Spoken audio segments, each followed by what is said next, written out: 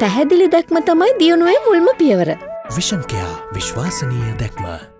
ලංකාවේ සැහැල්ලු වාහන රියදුරු බලපත්‍ර නිකුත් කිරීමේ ක්‍රියාවලියේදී ජනතාව දැනට මුහුණ දෙන අපහසුතාවයන් පිළිබඳව සැලකිල්ලට කරුණු භාජනය කළා.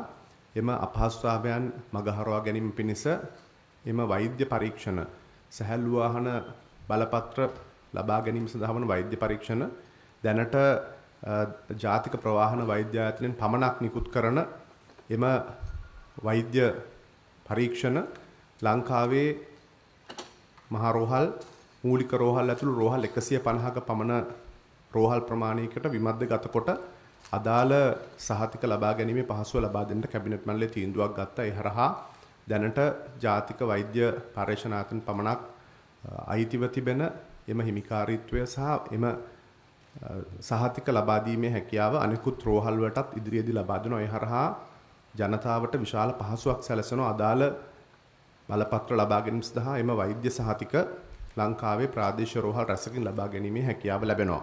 එම තීන්දුව හරහා අපි විශ්වාස කරනවා ජනතාවට දැනට මෙම ආයතනයට පැමිණ කාලය සහ ශ්‍රමය වැය කරමින් විශාල පැය ගාණක් ඒ වෙනුවෙන් මිනංගු කරමින් සිදුවන කාර්ය පහසුවට කර ගැනීමට අවස්ථාවක් ලැබෙන බවට අපි විශ්වාස කරනවා. breaking.lk